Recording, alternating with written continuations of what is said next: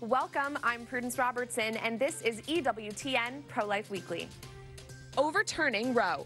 The debate continues as the nation anxiously awaits the final decision in the Dobbs versus Jackson Women's Health Organization case.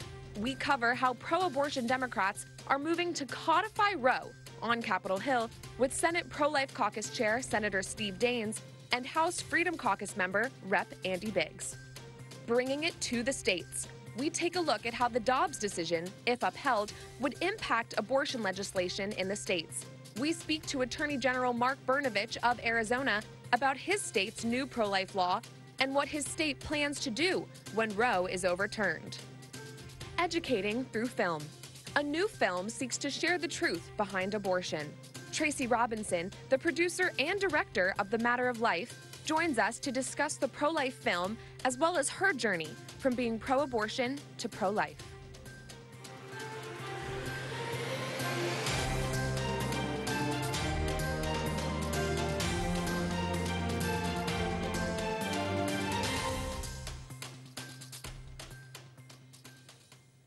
Continue to look to the U.S. Supreme Court, which could at any time move to overturn Roe v. Wade.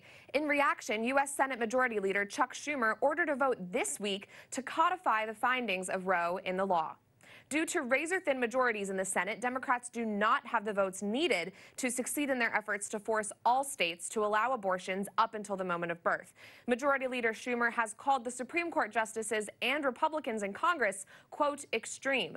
This comes as we continue to wait for the official decision in the Dobbs case.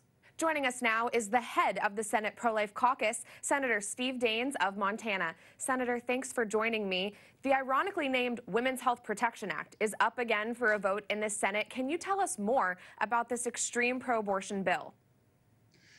Well, first of all, they've labeled it the wrong way. It should be called the Abortion on Demand Until Birth Act. This is a barbaric and radical abortion bill uh, the Democrats, sadly, want every single state to be a late term abortion state. And of course, sadly, this would put the United States in the same category of just seven countries in the world that permit late term abortions, including China and North Korea. The United States would be the most dangerous place in the world for an unborn baby to be if the Democrats have their way. So this is a it's a horrible horrible bill that uh, uh, I'm just, it, it's sad to see that it would come to this, that you would see this on the floor of the United States Senate. Mm. And since the Supreme Court leak has happened of Justice Alito's draft, pro abortion Democrats have expressed outrage at the idea that now people in the states will get to decide what their laws on abortion should be. You have said that if this decision stands, it will allow the court to correct a historical injustice and return the power to the American people. Talk to me a little more about that. Well, that's exactly what the facts are, what the truth is with this, uh, this draft opinion that was leaked that Justice Alito wrote. Uh, if that indeed is the final decision of the court, what that decision does is it returns the power from nine men in black robes from 1973. It returns the power to elected officials. That's where it belongs. It belongs with our state legislatures to debate about what protection we want to put in place for babies. Uh, it still will belong as a federal debate here in Washington, but the bottom line is you're not going to have this uh, mandate that came down from the court, this right, so called right that was created by the United States Supreme Court. So this decision from the Supreme Court will be profound. Uh, and this leak, by the way, I mean, need to add, is outrageous. This was done simply to intimidate members of the court. And we're seeing that sadly uh, as we speak. We're seeing these protests, we're seeing death threats, the fact that Supreme Court justices have to have uh, ramped up protection. You realize in the last 48 hours, we just quickly passed a bill in the United States Senate allowing more security protection for Supreme Court justices. Mm. Let's talk a little more about that breach of trust. Could you give us an update on the investigation into who might have done this? Are we going to find out what consequences could that person or persons be facing? Yeah, well, I'm confident uh, they'll get to the bottom of this because the, the list of individuals that could have leaked that is a, is a short list. Every Supreme Court justice has four law clerks. So it's not a big list. I'm confident they'll get to the bottom of who it was. And, uh, in terms of penalties, that remains to be seen.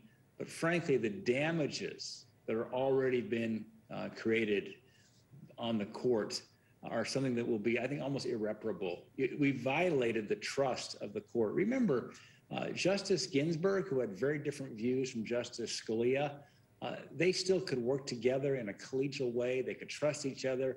The court has to deal with a lot of confidentiality when they deliberate. That has not been violated in this in this manner of a breach to this magnitude until what happened last week.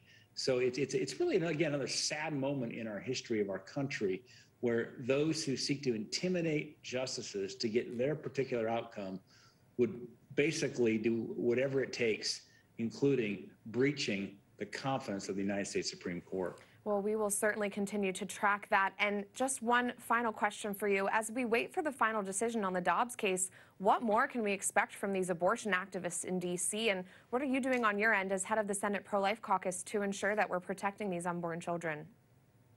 Well, th this battle only increases. And, and I want to thank so many of uh, your listeners and viewers who've been praying diligently for decades uh, for this moment.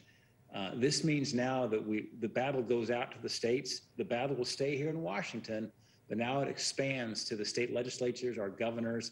It's more important than ever for our pro-life activists to even double down in their efforts of working hard in their states to ensure that we protect the lives of these babies and their moms. So this is not a time to sit back. Uh, yeah, we should celebrate uh, this this pending ruling, but it is time to double down our efforts here to protect the lives of moms and babies. Mm, and we will continue to pray and pray for you, Senator, as you defend the unborn. Thank you so much, Senator Steve Daines of Montana. Thank you. To continue the conversation, we're joined by House Republican Representative Andy Biggs of Arizona. Representative Biggs, thanks for joining me. You've been very active on Twitter in reaction to the Supreme Court leak and all that's ensued since. I would love if you could share more details about your tweet saying that pro abortion radicals are breaking the law by picketing outside of the Supreme Court justices' homes. Yeah, there's federal law under, under Title 18 that pro, uh, prohibits uh, protesting uh, in front of federal judges' homes. I mean, just kind of what we, we what you just said. And the idea behind that law is to prevent intimidation of uh, judges who are considering weighty matters by mobs of angry people. Uh, you want an independent judiciary. and the time to influence the judge is when you're filing briefs and your attorneys uh, and representatives are, are making arguments, not going to their homes and intimidating them and by the way, it, this goes beyond just protesting in front of their houses. They've received death threats. Their families have received threats, and they've had to, they've they've actually had to move um, uh, uh, Justice Alito. Right. And Democrats on Capitol Hill are clearly outraged, and that comes as no surprise. House Speaker Nancy Pelosi says the draft opinion by Justice Alito, quote, slapped women in the face. She even said we need to be prayerful about finding ways to keep abortion legal. What are your thoughts on her remarks? I, I find them to be highly offensive, to be praying to God uh, to provide ways to abort um, innocent unborn babies in the womb. I mean, to me, that is the height the height of, of inhumanity uh, is to basically justify an evil conduct by relying on God. And that's what they're doing here. These, these, these little uh, innocents are, are uh, basically uh, in the care and nurture of the, the mother in the womb. And, and uh, she's praying to God. And she says, We need to pray to God to um, invoke basically murderous appetite on these poor innocent children. Mm. And what are your thoughts, Representative Biggs, on the breach of trust at the court with this leak? Do you think it's possible we find the person who leaked this draft?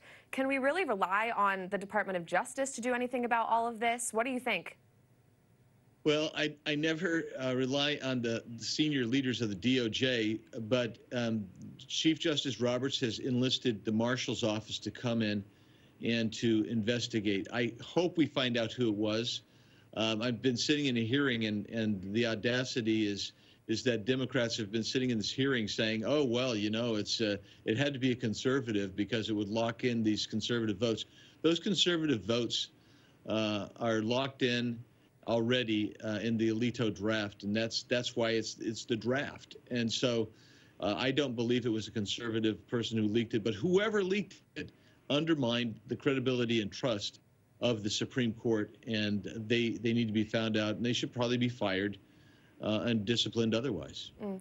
Appreciate your thoughts on all of this. Representative Andy Biggs of Arizona, thank you. Thanks, Prudence. Joining us now is Dr. Tara Sander Lee, Senior Fellow and Director of Life Sciences at the Charlotte Lozier Institute. Tara, thanks for joining us. A recent Fox News poll found that the majority of Americans support a limit on abortion at six weeks. That's significantly earlier than we've seen in the past. Why do you think that is? You know, I'm actually not surprised. I mean, America is starting to understand how the abortion industry has lied to them for 50 years.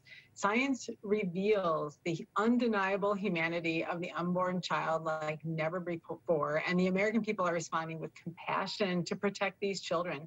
Um, a recent poll by Susan B. Anthony List actually found really similar results to the Fox News poll.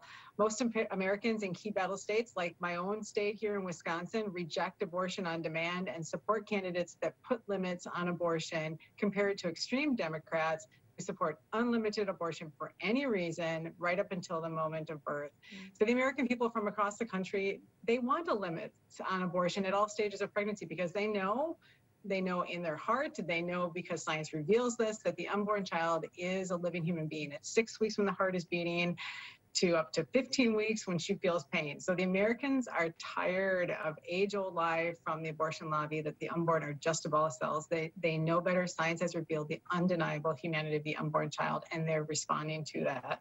Mm. And one thing that Alito's draft opinion so expertly laid out was just how much of a sham the Roe decision was. And that's perhaps the hardest hurdle to get over when trying to reveal the truth to someone who is pro abortion. How can we do this? Yeah, it's a great question. I mean, Alito got it right when he stated in his draft that the Constitution makes no reference to abortion. I mean, abortion is not protected under the Constitution. Roe got it wrong, but this court can make it right. The truth is that because of that wrong decision, Roe has caused the death of over 60 million babies of every gender and of every race over the last 50 years, some right up until the moment of birth. Babies with beating hearts that suck their thumb, that hear their mother sing, that respond to touch and taste, and feel excruciating pain when they suffer at the hands of an abortionist. So those who ignore the science and suppress the truth need to be reminded of the humanity of every unborn child. And that's how we need to respond. And you can actually see with your own eyes what science of today reveals. You can go to a, our website at voyageoflife.com to see the undeniable scientific truth and the humanity of the unborn child. And let's talk about that science, which you know so well. On Face the Nation this week, Nancy Pelosi denied that science increasingly reveals the humanity of babies, and she said that overturning Roe v. Wade would be a slap in the face to women. What did you think of her comments? Well, I sincerely question where Speaker Pelosi has been um, and whether she's been asleep for the past 50 years. I mean, hasn't she heard? Hasn't she seen? Um, it's really unfortunate that after three years of telling America to follow the science, she is now ignoring the science because it's inconvenient to her extreme political position of legalizing abortion right up until the moment of birth. She doesn't have to look far for this evidence of major scientific um, achievement that have revolutionized ultrasound technology, fetal diagnosis, and the science of fetal pain. Sorry, fetal pain. Doctors are now treating babies in utero before birth and some as early as 15 weeks, and at the same gestational age that Speaker Pelosi proclaims a right to kill. I mean, we know that before Roe, the black and white dots of an ultrasound could barely identify the head of an unborn child in the womb, much less show the undeniable humanity of the unborn child that we see today with absolute clarity. So overturning Roe v. Wade would take us out of the same extremist camp as countries like China and North Korea that force and lie, the forced propaganda and lie to the people. I mean, under Roe, America is only one of a handful of countries that allow such extreme abortion up to the point of birth. So, so if Speaker Pelosi really cared about women, she would not allow such extreme laws that kill unborn children and put women at serious risk, and she would not deny the science that has been that is the truth and has been revealed and that is all around her for evidence. Well, thank see. you for all the research that you do on this and the way that you revealed the truth. Dr. Tara Sander Lee from the Charlotte Lozier Institute. Thank you so much. As we have discussed on this show before, overturning Roe v. Wade is by no means the end of our mission to end abortion. What's most likely is that abortions will continue in states controlled by Democrat pro abortion extremists, while states that have already limited abortion in some capacity will move closer and closer to eradicating abortion within their borders. As states continue to shift one way or the other, it will be vital to keep a pulse on how state legislators and elected officials are moving to promote a culture of life. And we're joined in studio now with one of those elected officials, Mark Brnovich, who currently serves as Attorney General of Arizona and is running for U.S. Senate.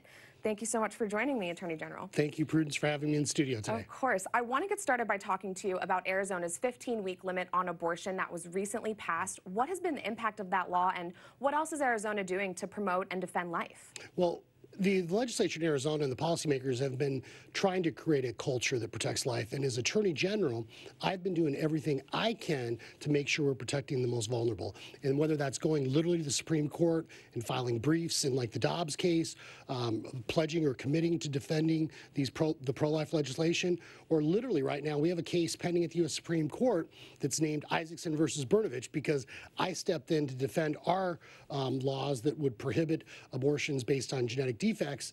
Um, and so we there's a lot of fights going on, and I think we're all waiting to see what the Supreme Court actually finally says when they overturn Roe v. Wade. Right. And what will the impact on these other cases being litigated be if Roe versus Wade is overturned? If we get a decision in the Dobbs case, what happens with a case Well, like Isaacson? Well, it, it'll it'll be huge. I mean, um, once Roe v. Wade is overturned, uh, you know, hopefully you will see. I think we have to win then the our case, the Isaacson uh, versus Brnovich case. We'll have to win on those cases because you know it will return to the states and the elected officials instead of unelected judges. And I always remind folks that remember, even people like Ruth Bader Ginsburg, you know, thought Roe was a, was a terrible decision. We all recognize the matter of constitutional law. It, it was an absolutely terrible decision, and so it was not only constitutionally suspect, but I think as Americans we all realize deep down that it was morally bankrupt as well. So now this will allow these important decisions to return back to the ele- our elected representatives in the states, um, where they can start to do everything they can to protect life. Right, as it should be. Now, talk to me about your pro life record serving as Attorney General. You know, the onus is on state legislators, elected officials in the states on the ground to defend these laws now. Yeah, and, and that's the thing is that unfortunately, you know, I, I don't like politics. I had never ran for anything before I ran for AG, um, but I was a gang prosecutor before that, a federal prosecutor, and I've spent my career protecting the most vulnerable. And so I, I think it's important to have people that not just talk about issues that have a record. And so, uh, for example, when California went after, um, I, I can't remember the guy's name, Dan, not Dandelion, I can't remember um, his name. When they went after him, we opposed the prosecution of him for going in and recording those undercover videos at Right. the abortion clinics, the abortion mills. And, you know, we, we literally sent someone into court to, you know, make sure that he had the ability to expose the terrible things that were going on. Um, you know, we've been in court, we supported the right of the Kentucky Attorney General at the U.S. Supreme Court to argue on behalf of defending life when the governor there wouldn't. You know, we literally have a case now pending, Isaacson versus Brnovich. It is named after me because when other elected officials or prosecutors wouldn't, they, they wanted to agree to a stay. They said that they would go ahead and put the law on hold. I said, no, we're going to enforce the law. We're going to protect life. And that's why I got sued and the case is pending now. So my hope is, is that once they overturn Roe v. Wade, then we should be able to win on that case as well, and we'll get the um, that law to spring back into effect. So you you have to keep fighting, and you know you start to list off all the cases we've been involved in. I mean, heck, we last year we sued the Biden administration when they. Uh, being a 12-state coalition, sued the Biden administration when they tried to uh, provide funding to, you know, ab- abortion clinics, public taxpayer dollars, and so, you know, we sued them over that. So there are a lot of fights that we have been involved in, Yes. and we got to continue to do everything we can to stand up for life, stand up for our values. And as conservatives, and I'm a conservative, it, we cannot be afraid to say this is why we believe this and this is what um, you know, we want to take place in the public square, whether it's our representatives, whether it's our AGs, we have to be engaged in political society in order to effectuate the change. Right, and we have to be able to answer those tough questions. And I wanted to shift gears for our last question to get your thoughts on something else happening in Arizona right now. Clarence Dixon is a man in Arizona who has been charged with brutally murdering a college student in the 70s, and he's been sentenced to death. His execution is now underway. Talk to me about how, as Attorney General, you justified that sentence given your pro life beliefs. You know, to me, Prudence, there is nothing contradictory about being in support of the death penalty and also protecting um, the unborn, because it all comes down to protecting innocent life. And we know that historically, there's there's a lot of scholars, you know, St. Thomas Aquinas, and you know other, you know, even biblical scholars that have said that society has a right to defend itself. And when you have people, like in the case you're talking about, I won't even say this guy's name, but he had brutally raped and killed a woman in the late 70s. He's gone through the appellate process, the federal courts, the state courts. He's had lawyers. Um, he, he literally raped multiple women. And I just think at that point, he has given up his right to live in a civilized society. And in some ways, I think it shows how much we value life by saying that that person who brutally raped and killed a woman, raped other women, he has given up his right to live in a civilized society because we value life and safety so much. And at the end of the day, I tell folks that, look, the death penalty is the law. I'm a big, big believer in the rule of law, and that is the law. And I've spoken to victims, the victims' families, and they want some closure, they want some justice, and this is my way to help the victims. And I think too often we focus on the defendants and not the victims um, of these or their families of these terrible crimes. Mm, well, I appreciate your take on that and the work that you do to defend the unborn. Thank you so much, Attorney General Mark Brnovich. Thank you. EWTN has launched a new initiative to promote the culture of life through prayer. In this month of May that we dedicate to honoring our Mother Mary, we're asking you, our EWTN family, to pray the rosary frequently and fervently for the overturn of Roe v. Wade and an end to abortion in America and throughout the world. We pray that each day we can continue to rebuild a culture that respects our families, our faith, and the right to life. Coming up, a pro-life group in Wisconsin is attacked and we're tracking other instances of vandalism by pro abortion groups in reaction to the Dobbs leak. I Speak Out. Plus, a new film seeks to educate its viewers about the truth behind abortion. We speak to the film's director next.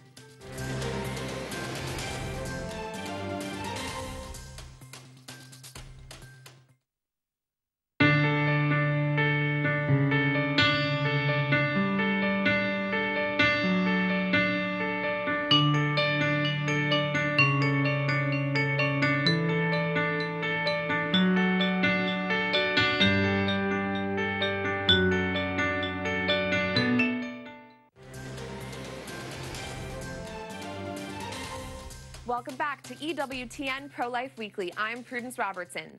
Pro abortion activists have violently taken to the streets in reaction to the fact that they could lose big at the Supreme Court, going so far as to commit arson at a pro life advocacy center. That is this week's Speak Out segment.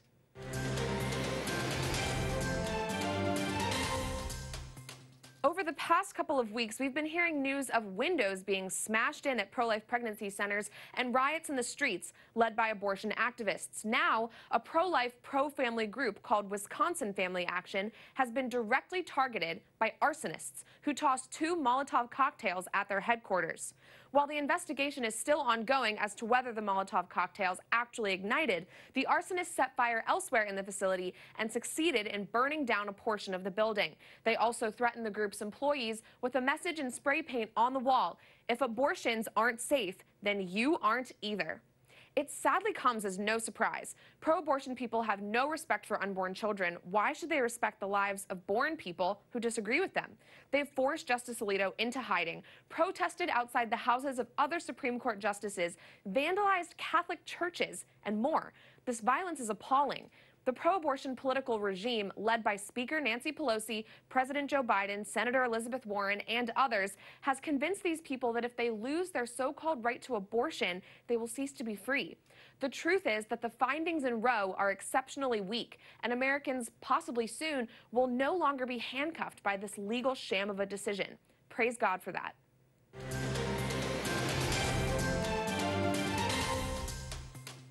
The Matter of Life is a new pro life film that seeks to share and educate viewers about the truth behind abortions. The documentary film emphasizes the humanity of the unborn child through expert analysis and facts. It also features powerful stories from women, former abortion clinic workers, historians, and religious leaders. The film will hit theaters for two nights on Monday, May 16th, and Tuesday, May 17th. Joining us now via Skype is Tracy Robinson, director and producer of The Matter of Life. Tracy, thanks for joining us. Can you tell us about your journey, how you went from being pro abortion to pro life, and how your experience moved you to work on this film? Yeah, so I, uh, in 2016, I was doing videos for a pregnancy resource center in California, and I was in the mushy middle. Um, but I loved what the center was doing to help women uh, with their unplanned pregnancies. And it wasn't until my friends at the pregnancy center invited me to an apologetics conference, and the topic was the case against abortion. And in less than two hours, the message uh, just clarified for me the, the true humanity of the unborn child uh, from the moment of conception and the, the, the whole um, uh, reality of what abortion does really struck me. Mm. And so I immediately felt compelled to make a documentary uh, because I knew there were so many people in my shoes, uh, young adults, who had never heard the message before clearly. And uh, they grew up in public schools, uh, even went through church, and um, uh, and the family never broached the topic, uh, and so they've just never heard it from these sources, mm. and they just allowed the culture to uh, inform them and shape their worldview. Uh, so I had so many questions when I learned finally learned the science.